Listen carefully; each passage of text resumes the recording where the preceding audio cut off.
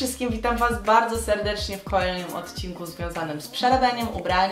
I dzisiaj pokażę Wam kilka sposobów na to, jak przerobić jeansowe spodnie, spódniczkę lub katanę, także mam nadzieję, że moje propozycje Wam się spodobają.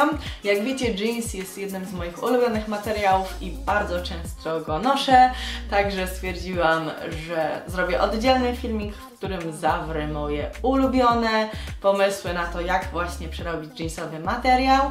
I pomysły te będą proste, ale myślę, że nie aż tak banalne i że to, co stworzymy, również Wam przypadnie do gustu. Jeżeli tak będzie, to zostawcie proszę łapkę w górę pod tym filmem. No i cóż, myślę, że możemy przejść do przerabiania ubrań. Pierwsze DIY polega na stworzeniu takich oto jeans z czarnymi naszywkami. Jakiś czas temu w Topshopie widziałam podobne spodnie, z tym, że były bardzo drogie i stwierdziłam, że skoro mam tyle par mam jeans w domu, to mogę zrobić coś takiego sama. Do tego DIY będziemy potrzebować przede wszystkim naprasowanek oraz czarnego markera do ubrań. Wszystkie linki z rzeczami, gdzie co kupiłam, oczywiście zostawię Wam w opisie. No i co robimy? To zmieniamy kolor naszywek poprzez zamazywanie ich markerem. I następnie pozostał nam już ostatni krok, czyli przymocowanie naprasowanek do jeansu poprzez użycie żelazka. I tak, DIY jest gotowe. Mam nadzieję, że ta propozycja Wam się spodobała. Ja jestem z niej bardzo zadowolona i w zaledwie kilka minut urozmaiciłam moje zwykłe, już troszeczkę nudne mam jeans. Drugi sposób to stworzenie pasków na spódniczce i tego typu motyw chodzi za mną już od dawna, także cieszę się, że w końcu go zrealizowałam. I rozpoczynamy od docięcia spódniczki, ponieważ jak widzicie przód i tył mają troszeczkę inne długości, a zależy mi na tym, żeby była to po prostu zwykła pozioma linia, tak aby potem łatwiej było mi przymocować materiał. No i z tej spódniczki powstała mi taka, wiecie, konkretna miniówka, ale planuję pod nią nosić rajstopy i zrobię to tak, żeby nie wyglądało wszystko przesadnie. Następny krok to wycięcie materiału. Jak widzicie moje paski nie pochodzą z pasmaterii. Yy, użyłam czegoś, co znalazłam w lumpeksie, czyli takiego dziwnego, żółtego kostiumu. Wycinam z boków paski, które mają szerokość 4 cm i następnie dobieram tasiemkę dwustronną do prasowania, która również ma taką samą szerokość, czyli 4 cm.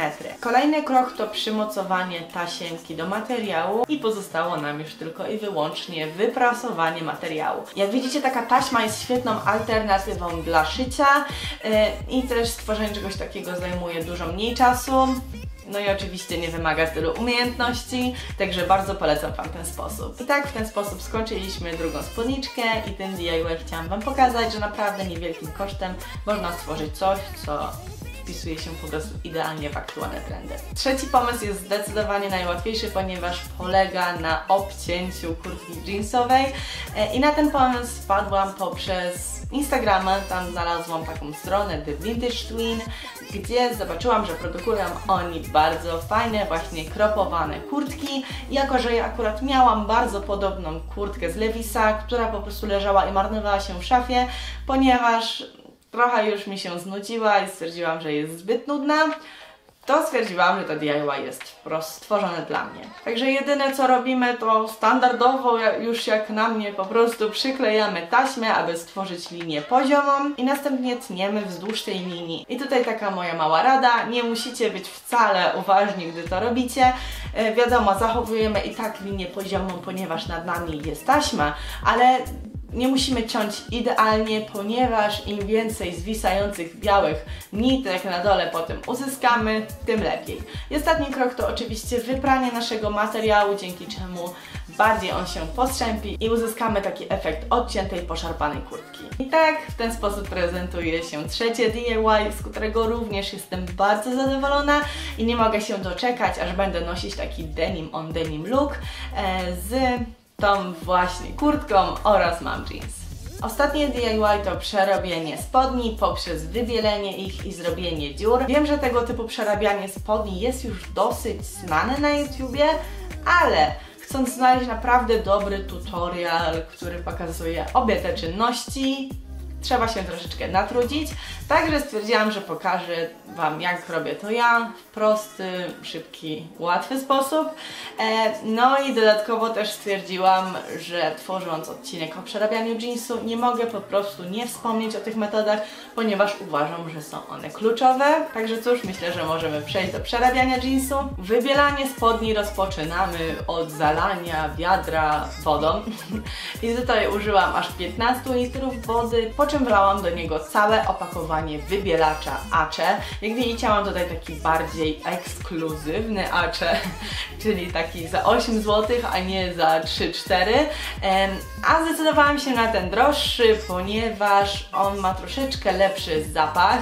E, nie można tego do końca nazwać ładnym zapachem, ale na pewno nie jest to aż tak okropny smród, który towarzyszy nam podczas korzystania z tej klasycznej wersji Acze. Także rekomenduję Wam użyć właśnie tej wersji. Gdy już wlaliśmy Acze, to wszystko dokładnie mieszamy, aby mikstura się połączyła i wkładamy nasz jeans, który ugniatamy w wodzie, przewracamy, żeby właśnie wszystko się idealnie połączyło, po czym zostawiamy spodnie na pół godziny, po pół godziny wracamy, mieszamy wszystko, znowu idziemy, po kolejnym pół godziny wracamy, znowu mieszamy i tak w kółko, aż efekt nas zadowoli. Mi wybielenie spodni do etapu, który mi odpowiadał, zajęło około 2,5 godziny i następnie przeszłam do prania spodni, włączyłam standardowy tryb. Tutaj bardzo ważna uwaga, spodnie podczas prania jeszcze dodatkowo się rozjaśnią, także miejcie to na uwadze, aby jednak troszeczkę zostawić je po samym wybielaniu ciemniejsze niż chcecie, aby były finalnie,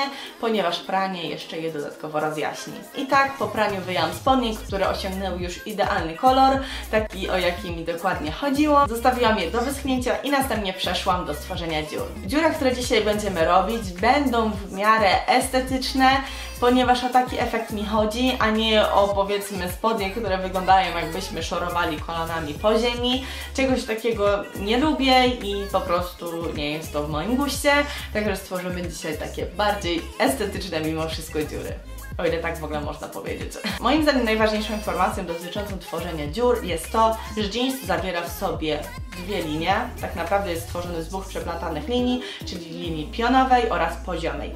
Linia pionowa to są nitki, które są w kolorze granatu, a linia pozioma są to białe nitki. I miks tych nitek tworzy nam kolor jeansu. I w momencie, gdy tworzymy dziury, bardzo ważne jest to, aby uważać na białe nitki i ich za bardzo nie przecinać, e, ponieważ wtedy powstaną nam po prostu duże dziury. Także co robimy, to bierzemy nożyk, oczywiście można też wziąć nożyczki i robię linię poziomą wzdłuż białych nitek, następnie kilka centymetrów niżej robię drugą taką linię i za pomocą pensety wyjmuję pionowe granatowe nitki, które bez problemu po jakimś czasie już wychodzą. Wyjęcie pierwsze jest troszeczkę problematyczne, ale pod koniec idzie to już naprawdę prosto. I jeżeli chcemy powiększyć dziurę, to oczywiście robimy kolejne linie poziome w dół i w górę i tak to mniej więcej wygląda. Jeszcze jedna informacja, wiem, że tych informacji jest sporo, ale uważam, że naprawdę warto o tym wspomnieć. W momencie, gdy macie rozciągliwy jeans, to dziury nie będą tak wyglądały i szczerze to nie polecam tego robić, ponieważ te białe nitki będą takie pofalowane i to nie będzie wyglądało tak dobrze jak w momencie, gdy mamy sztywny, nierozciągliwy jeans, także właśnie taki Wam polecam. I tak DIY jest gotowe, moje idealne, jasne, dziurawe jeansy są gotowe. Mam nadzieję, że wyjaśniłam Wam to w sposób jasny i przejrzysty i nie będziecie mieć problemu z odtworzeniem tego. I tak, to było wszystko, co dzisiaj dla Was przygotowałam. Dajcie mi koniecznie znać w komentarzach, które DIY Wam się podobało najbardziej. Jeżeli odtworzycie którąś z moich prac, to proszę oznaczcie mnie na Instagramie, będzie mi bardzo miło zajrzeć e, i zobaczyć Wasze prace, e, bo wtedy widzę, że to co robię ma sens i że ktoś z tego rzeczywiście korzysta. No i cóż, to wszystko na dzisiaj. Do zobaczenia już niedługo w kolejnym filmie. Pa, pa!